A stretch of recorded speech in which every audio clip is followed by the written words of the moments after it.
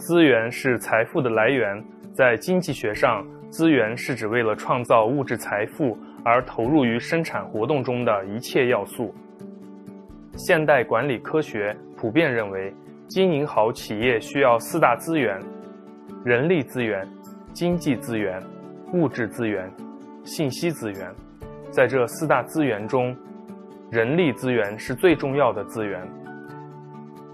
它是生产活动中最活跃的因素，被经济学家称为第一资源。那么，什么是人力资源管理呢？人力资源管理的含义为。一个组织对人力资源的获取、维护、激励、运用与发展的全部管理过程与活动，并对人力资源的获取、使用、保持、开发、评价与激励等进行的全过程管理活动，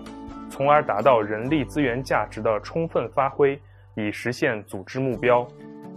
接下来，让我们了解人力资源管理的九项职能。人力资源管理是实现组织目标的一种有效手段。人力资源管理职能包括以下内容：一、人力资源战略与规划，根据公司的总体战略目标，分析自己的经营环境变化对人力资源的供给和需求的影响及状况，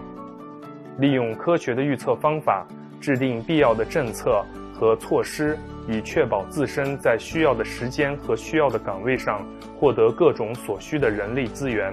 并且公司和员工个体得到长期的利益。二、工作分析与设计，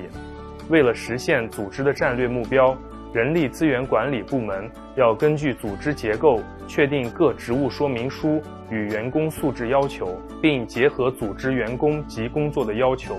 为员工设计激励性的工作。好了，今天的内容就介绍到这儿，同学们再见。